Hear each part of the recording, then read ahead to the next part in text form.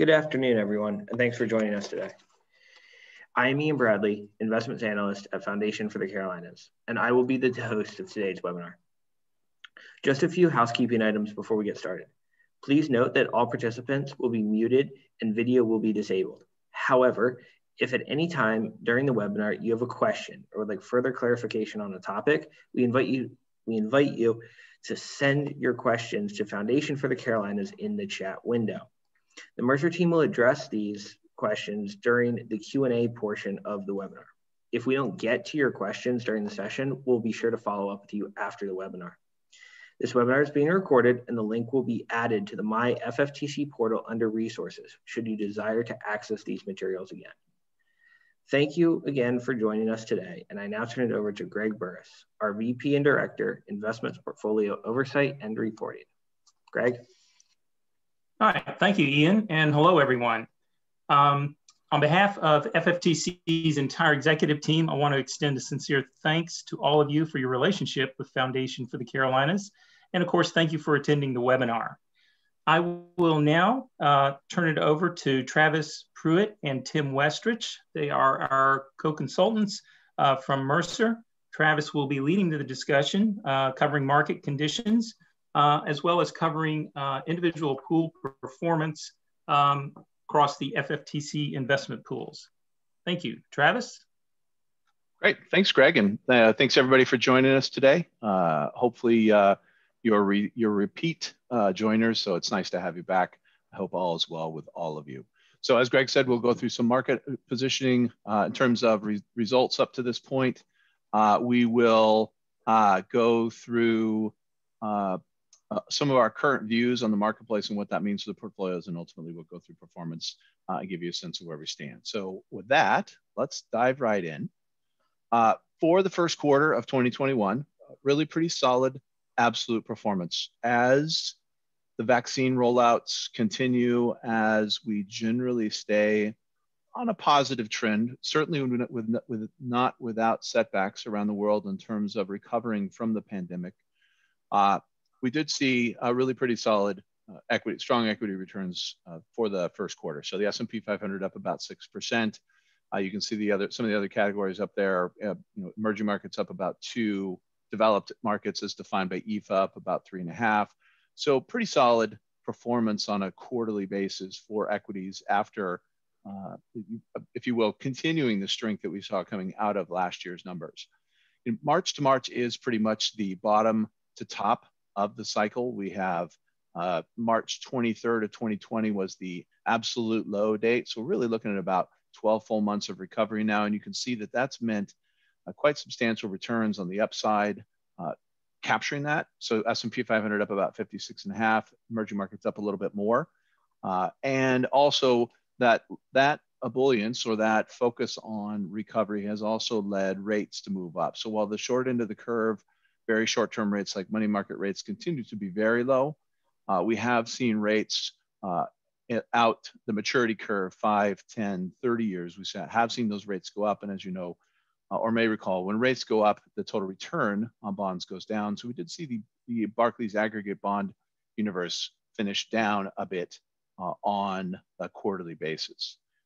If we dive a little bit deeper into those numbers, we can see that uh, the shape of the recovery remains focused on those stocks or companies that are most heavily leveraged towards economic recovery. So in the first quarter, we saw natural resource stocks lead the way, up nearly 20% for the three month period. Uh, along those lines, we've seen oil and natural gas also accelerate, so that, that makes a lot of sense. Uh, and if you think about it, uh, if we return to economic growth, natural resource stocks seem to, to, to, be right there on the front, front lines for leverage. Small and mid cap stocks, uh, next strongest for the category. Again, also companies that are more sensitive to changes in economic direction. Overall, uh, performed really pretty well. Uh, when we look a little closer, we'd see the international stocks, which I talked about briefly, uh, up only about 3.5% amongst international developed markets. We did see the dollar uh, regain a bit of strength in the first quarter. The dollar had weakened against foreign currencies through much of the back half of last year, and that helped absolute returns for international stocks versus US stocks uh, be more uh, closely aligned, but we did see that reverse a little bit here in the uh, in the first quarter. And so that is a when the dollar strengthens, it is a bit of a, a negative uh, to uh, the total returns, the absolute returns for non-U.S. equities. And then we did see bonds pretty much across the board sell off in the quarter uh, as rates moved up. investment grade corporate bonds, which have been key to the overall performance of of your fixed income assets, uh, over the last year. They did sell off just a bit more than treasuries, but really, it, it really pretty much in line with the activity of the bond market, uh, suggesting that it was really just a generalized shift in rates as investors begin to, to, to think about and price in the concepts of uh, continued recovery and what that might mean on several fronts. And we'll talk more about that in just a minute. As I mentioned, the one year trailing performance is pretty much bottom to top. And so th those more cyclically oriented uh, securities have done extraordinarily well. These, these are types of numbers that you see you know, once in a generation, uh, or at least once in a multi-cycle. And so small mids up nearly 90% on a one on a year over year basis. Natural resource stocks really rebounding significantly, up 72%. You can see there's pretty much not a, there's just a couple of negative returns on a year over year basis on our chart here by the broad asset classes. And you can see primarily it's those that are that are just exposed to interest rate risk in the forms of treasuries and long treasuries at the bottom of the curve. But even broader investment grade bonds, uh, I didn't circle it this time, but up uh, around 8.7% over the trailing one year period, uh, reflecting overall strength of economic recovery uh, as, a, as a growth sensitive uh, asset just a little bit more depth here. So we just talked, we talked about small mids outperformed. It had been some time since small and mid cap stocks had outperformed large cap stocks in the US. Uh, we also saw that shift towards more value oriented securities. So you can see, regardless of the capitalization for the quarter, whether it be large cap there at the top of the chart or mid or small caps as you move down, uh, value did tend to perform better. Uh, again, value stocks had performed very poorly versus the broader market for uh, up until call it the end of the third quarter for probably the better part of two or three years. Uh, and the challenges they had had accelerated over that time. With the introduction of the vaccine in early November, uh, the uh, you saw market participants start to get much more comfortable with those companies that had much more leverage, maybe weren't as strong a balance sheets, but were much more tuned to the uh, they were much more tuned to the, the, the tone and direction of the economic environment. So we see that in the value indices. If we look at those over uh, the last year, uh, you can see even more dramatic, dramatically down at the smallest parts of the marketplace, the Russell 2000 growth and 2000 value. 2000 value squeaked ahead just a little bit over that 12 month period, but up nearly 100% off of their bottom uh, over that time. Interestingly, I don't have it in this deck, uh, but I did yesterday. I was taking a look at these numbers similarly for for a client, and the spreads of growth and value through the end of March, when you look at three-year and longer periods, are still quite dramatic. Uh, very, very wide, still positive to growth uh, in terms of returns. So it is nice to see the market balancing out. Uh, we see this as healthy and a broader participation we think is good overall uh, for investors in general. And then finally, we do own quality and, and some lower volatility uh, exposure in the portfolios. You can see it didn't perform quite as well over the trailing 12 months as some of the other categories. Uh, that's a, that's a negative in terms of relative performance for us, but fortunately, as you'll see, we overcame most of that uh, in the in the period we do like quality and minimum volatility or low volatility stocks as a long-term portion of the portfolio.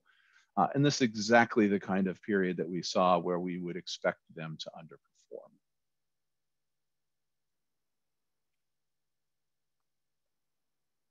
When we look a little bit more broadly, we think about, okay, that's where we were, where are we going? We do think that uh, our, we've had the view for a while that it would be uh, end of 2021 into 2022 before we saw a return to trend. That is generally where we still sit today, although the slope of our of our expectation line or the consensus forecast line has gotten a little bit steeper. And uh, there is a chance that we could be back to pre-COVID trend U.S. economic growth by the end of 2021. And maybe, you know, if things go extraordinarily well, maybe we'll be back to trend even before the end of the calendar year. Uh, that is our baseline view.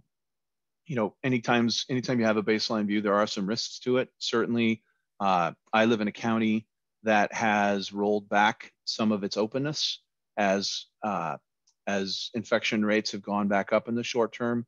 I think you'll, you know, you will see that I think periodically or episodically, maybe is a better word, around the country and around the world. Uh, so that will, you know, that will create short-term, hopefully short-term uh, chuck holes uh, in the in this line. Uh, and certainly what's going on in places like India today, where they are suffering under uh, a pretty significant outbreak of the COVID virus, and it's having a, a really meaningful impact on their country overall, as, and clearly as as per their economy. So we're not we're not virologists, but uh, certainly the the rotating instances of COVID suggest it's not over, uh, and it won't be over tomorrow. Where there still is some road ahead, but our basic view is that we would anticipate that economic growth overall uh, will be, you know, close to back on track uh, by the end of this year or early into next year. Uh, that recovery strength has led the bond market, as we've talked about a little bit already, to, to price in uh, some ramifications of stronger growth. And so we did see the 10 year treasury increase about 80 basis points or 0.8% uh, in yield from the end of the year uh, to the end of March. So the yield on the 10 year treasury was about 0.9% as of 1231 and it's about 0.1 or 1.7% as of the end of March. So historically, those are still very low rates, uh, but that's a that's a pretty meaningful move off of a less than 1% base over a three-year period, a three-month period. And part of that is driven by con- uh, uh, concepts or uh, concerns around the potential for inflation. And uh, when we think about where yields are today, we do think that we're we're getting close to the intermediate peak, uh, assuming inflation follows our, our base case, which we'll talk more about in a minute. But we did see yields move pretty significantly uh, off of that bottom and they've sort of stabilized here in the in the 165 175 range here over the last several weeks. Uh, uh, and that that could be good news if we just sit here for a while but that's a that's a pretty stark increase uh, in the slope of the the, uh, the yield curve. So what does that mean to inflation? Well the you can see uh, I'll stay out of the wonkiness of this but basically when the blue line and the green line diverge, it means uh, short-term and long-term expectations have uh, diverged. And what this suggests is that over, over the last month of the quarter, or excuse me, this is as of, of March 8th. So in the midst of the quarter, we started to see uh, market participants uh, start to price in an intermediate spike or a short-term spike in inflation. And that's not terribly hard to consider if you think about just this notion of pent up demand, uh, I'm sure your families uh, or potentially your families have had the same conversations that mine have is that we're all itching to go somewhere. We're all itching to get away on, on holiday. And uh, it could be at some point, could be very difficult to find a hotel room. And if you do, it, it might be quite expensive. So those are inflationary factors. And certainly if we're all out driving more and we're all out away from home, more demand for gas means higher gas prices. And so we could see and do expect to see uh, a short term blip in inflation driven primarily by pent up demand. But we do think today, as a base case, that we're more likely to return back to inflation trend after this period is over. You know, maybe it's 12 to 24 months of inflation. And certainly the Fed has indicated that they're going to allow short-term inflation to uh, perhaps run much hotter than it had in the past, since inflation has really not been an issue for most people uh, in their lives. Uh, I, I, probably was in single digits in terms of age the last time inflation uh, inflation was meaningful in the U.S. Uh, and I'm not so young anymore, so that that was a good long time ago.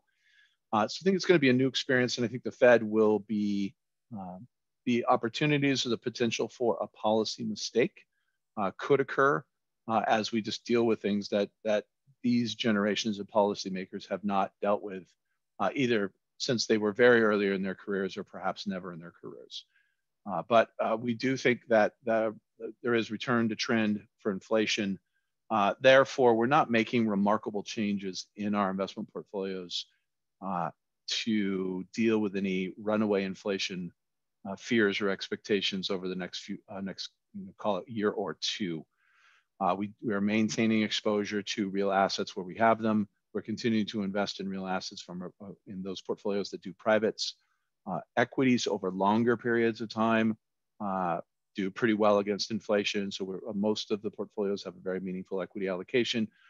So we don't feel like there's a lot different that we need to do today. We're just making sure that we are near our targets, uh, making sure that we have our exposures so that we are participating in this movement as inflation works its way through the system.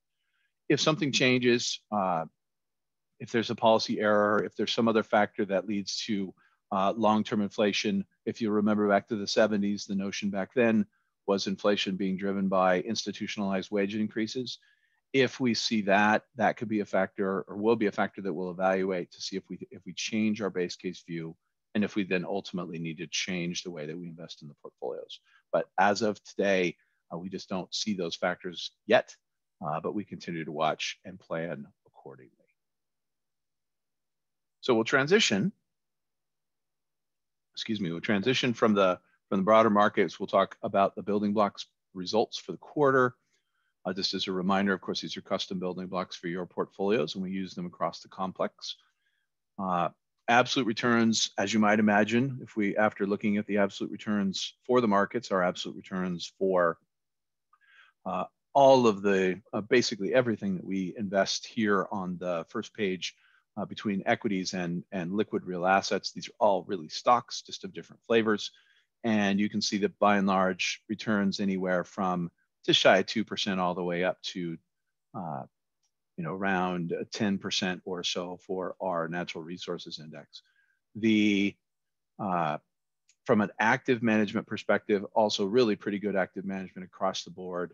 Uh, our three primary traditional equity uh, LLCs all outperformed their policy indexes for the quarter.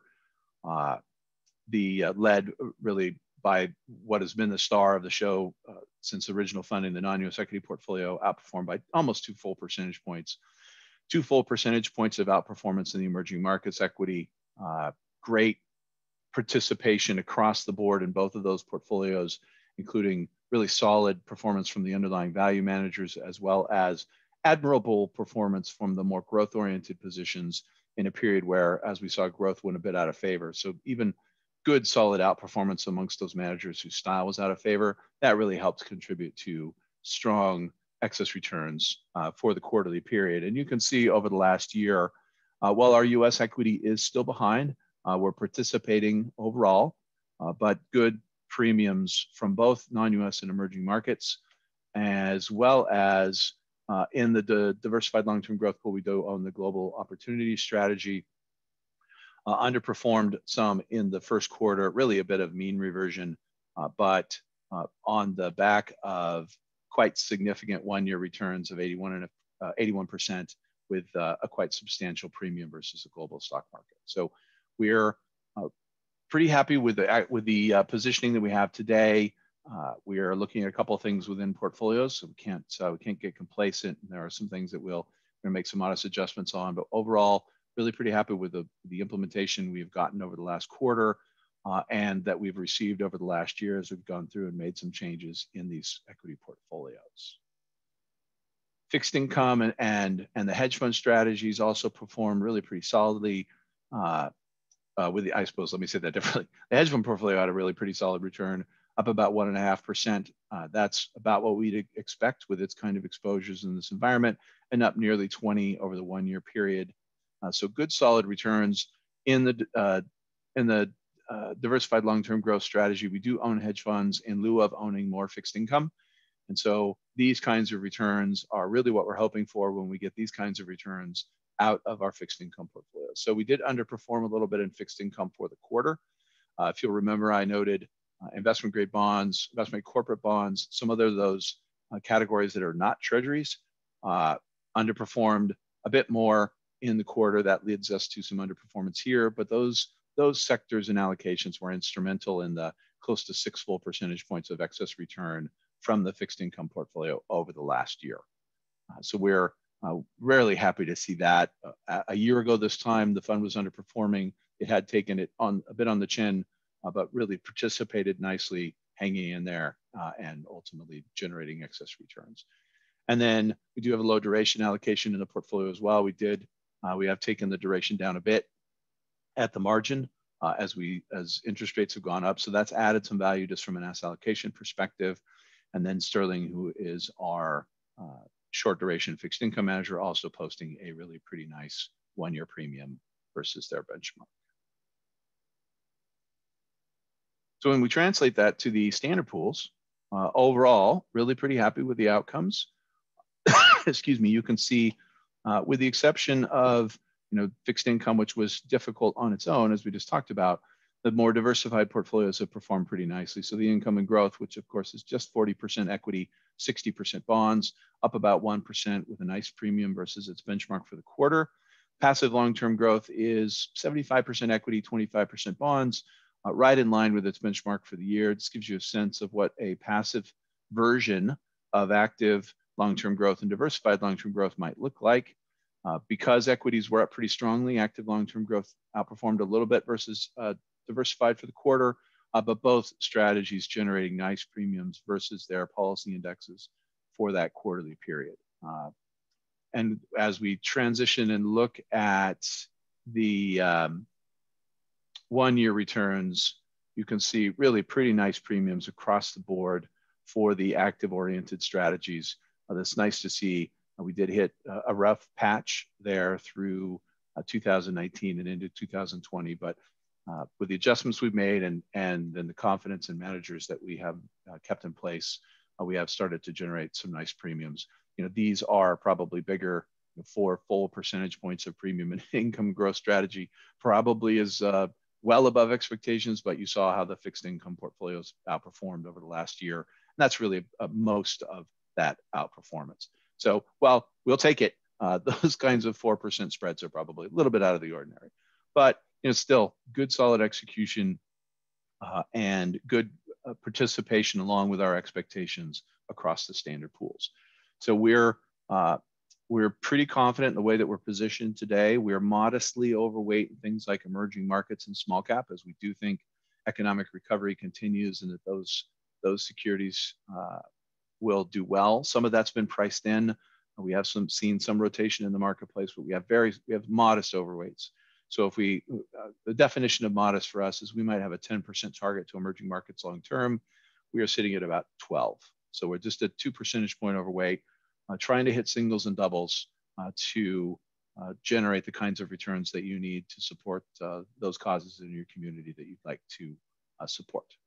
So with that, I will pause and invite Ian back, Ian and Greg to back with me and we'll do some Q&A. All right, Travis. Thanks so much. Uh, great, great job as always. Uh, we had a few questions come in. Mm-hmm. Uh, we'll start with the first one. Do you have a time frame or under what conditions need to occur to move back into active management in the U.S. Equity LLC? So it's a good question. I think uh, we're still pretty active. So today we're about 75. To, uh, we're we're underweight U.S. large cap a little bit in the in the portfolio today. Call it 70 75% in US large cap. That is all passive today. And then we have the low volatility and the two small mid managers, and those are active. Uh, I can see us at the margin adding to active over time. Uh, it's something though that we we continue to talk about and think about because active large cap is a tough thing. It's it's a tough place to generate consistent excess returns. Uh, and even if you have what you believe to be a good manager, if you get out of favor with that manager, or if they happen to have a short uh, patch of underperformance, it can be tough to make that up, uh, and and tough to live with that at the total portfolio level. So it's something we continue to actively uh, discuss. Uh, we have some large cap managers that we do like and that and that have added value, uh, but they also tend to be much more concentrated. Can have a little bit more variability relative to the benchmark, which can make them tougher to own. Uh, but it's something that we actively review today, given general positive economic, our views on having a generally positive economic view. Uh, it's just harder in general to outperform uh, when stocks are going up very strongly. the, the index generally wins in those environments unless you're in you happen to be concentrated in the one strategy that is or one style that is winning. While we have that view, I think it is much more likely that we'd increase the active or add to active large cap in the U.S. portfolios today, uh, just because the the historically the environment for active managers in that kind of situation is not is not great, uh, but it's something we continue to look at. Makes sense. We had one more come in. Um, what are your views on the act, the growth versus value debate? Uh, how do you think values uh, recent outperformance we've seen year to date? Uh, do you think that's sustainable? And uh, how do you feel about growth persistent outperformance over time?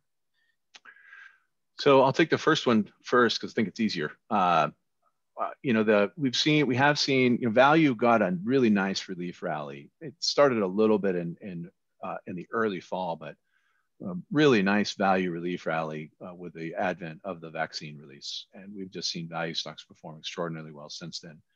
However, the market uh, investors over the last three months have taken back some of that premium. So we saw value leadership really peak in mid March. Uh, and then there's been some consolidations and profit taking in those names uh, since then. On a year to date basis, value is still ahead uh, and we would expect that to continue to be the case. Uh, I think the bigger question is, is will it, is there another big spread rally available uh, as the economy continues to unfold? I'm just not sure of that. Uh, we do, you know, we think value is attractive and, and uh, but we are pretty neutral in portfolios right now uh, to our long-term views, which means in the U.S. portfolio, we're, we're about neutral to value in the non-US portfolios, we have just a modest overweight to value or a modest bias. It's not even really an overweight. It's modest bias from a factor perspective to value in those portfolios. And that's certainly helped in the short term. Uh, I don't know if the, the spread on growth and value will be what it was for the last six months, for the next six months, or the next two years. Uh, but to the extent the economy continues to expand and grow, there still should be some upside for earnings expansion from those more those those companies that are either more highly leveraged or more highly leveraged to uh, to the economy. The you know the the the notion of growth, you know, extended growth outperformance. Uh, I'm in my 26th or 27th year in the investment business, and you know, over much of that time, the the, the view was value outperforms over long periods of time the unfortunate thing is those long periods of time are just getting longer to measure it. Uh, you know, it's I think it is difficult to say that this time is different, so I won't. Uh, I think there's some potential advantages to you know big companies with moats around their businesses, and I think we've seen those kinds of businesses perform. We saw them perform very well coming into 2020. So the big cap growth names, they were just you know they're great businesses. They generate a lot of cash. Uh, they are absent further regulation. Many of them are uh, either monopolies or oligopolies. Uh, you know, these are these are concise industries, and and they're quite profitable. And so, you know, how much how much valuation premium do you pay uh, in a low rate, low interest rate environment for those? You know, up until the you know November of this last year, you paid the market was willing to pay quite a handsome uh, uh, valuation for those companies because they were just better businesses in many ways than other companies were. Uh, you know, it, it, remains to be seen what the next round of those or what next cadre of those types of businesses might be, or whether you can get sustained earning growth in thing in value type companies to change that tilt back. We we don't know well enough right now to make a bet, so uh, that's why we're positioned the way that we are. Uh, and I think those can be those can be extraordinarily difficult bets to get right anyway. Uh, looking at a at a secular change like that, but I mean it's as long as interest rates are low, it's going to make some of those long duration type stocks things like a uh, you know a I don't have a personal view on Google, but it's just sort of the poster child of that kind of com- company. Low overhead, low fixed costs, huge margins, and tremendous free cash flow you know, an environment where bonds don't pay very much, you can get pretty comfortable with a, a stock like that, uh, just characteristically. I'm not giving you advice to buy Google by any stretch, but just using it as an example. Travis, did we lose you? No, I'm here. Can you hear me? Uh, we, we lost you there for a second. Oh, okay. hopefully, uh, hopefully you got all my answer. Can you hear me, Ian? You there? Yeah. Oh. Um, I tell you what, Travis, I can hear you, and uh, I don't think we had any more questions come in. Uh, so we'll go ahead and conclude the webinar. Um, thanks to both you and Tim for being with us today. We definitely appreciate it. And uh, thank you to all the participants. Um, obviously, we hope you found this webinar informational. And as we said at the outset, we will be posting a recording uh, to our website uh, as soon as possible. So thank you very much for attending and hope the rest of your week goes well. Thank you. Thank you all.